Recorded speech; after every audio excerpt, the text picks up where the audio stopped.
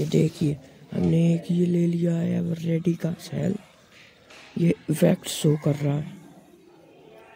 तो देखो effect show हो रहा है। एक सेल की मदद से।